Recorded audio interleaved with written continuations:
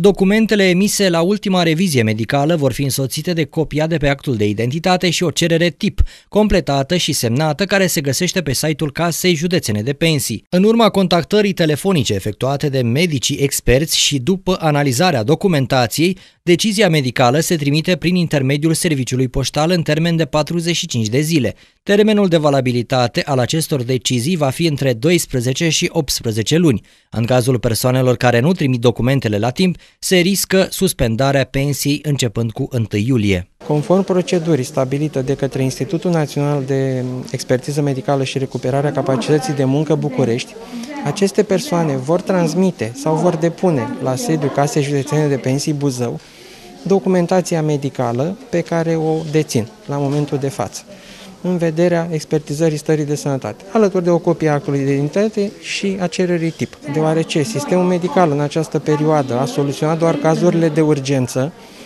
în situația acestor persoane nu li se vor solicita documente medicale noi.